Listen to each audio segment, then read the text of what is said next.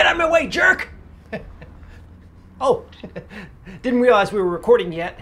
Hey, I like being married, and I actually live in a world where I can have many wives. And I'm good at it. and I'm not even viewed as a massive joke at all. And I find my wives very, very attractive too. and that means whenever I want. I mean, whenever I'm allowed to. wink, wink. You know what I'm saying? so you plan to button it up now? Are you happy with your family? Uh, last count, uh, you had a baker's dozen or so of kids. Is uh, all good? All good?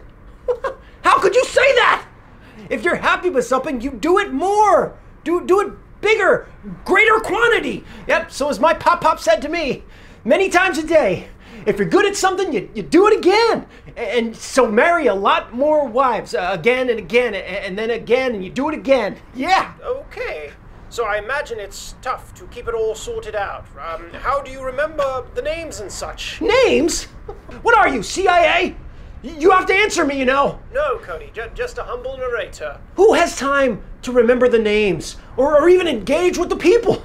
I just just give me more, okay? You just uh, you see that woman there? I will make her my wife. Hey, you? You like me? I know you do. Can you spare some change? Oh, I'll spare you some ripping cool Bible verses and a small closet room in my basement and I will marry your cutie patootie right here. I, I, can officiate my own weddings. It's a thing, so. I have lots of food. Ooh. Sure? Yippee! so, yeah, I do what I want. And I'm happy, so stop questioning me or I'll marry you next. Okie dokie. Next week on Sister Wives, the new wife moves in.